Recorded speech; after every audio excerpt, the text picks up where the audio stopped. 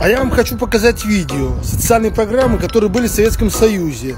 То есть это не как вот у нас сейчас дальневосточный гектар, э, арктический гектар, какие там э, с малым процентом кредиты идут, там 2-4. А такая программа, которая действительно позволяла людям жить на селе, жить в глубинке и, в принципе, ни в чем не нуждаться. Смотрим видео. Поначалу заглянули мы во двор к механизатору Кальбаху. Знали, что содержит здесь коров, свиней самую разнообразную птицу. Всегда есть что подать к столу.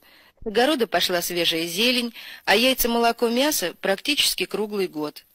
Как и всем в совхозе, выделен кальбахом покос, помогает дирекции сенажом и силосом, дает транспорт для подвоза кормов.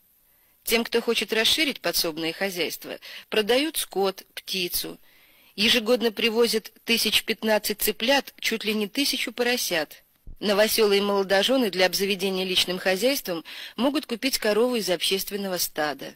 Содержит живность в добротных надворных постройках. Видите, возводятся дома и тут же строятся сараи. Хотя чуть ли не каждый завел корову, а то и две, на улицах зелень, чистота, порядок. Не увидишь, как гонят скот. Весь он сосредоточен на площадках, личный скот на общественных площадках. Подвели к ним водопровод, корм подвозят с совхозных угодий. Хозяйство, отказавшись от выгонов, рациональнее использует землю. С бывших пастбищ получают теперь по два укоса трав, а владельцы коров на все лето избавлены от хлопот.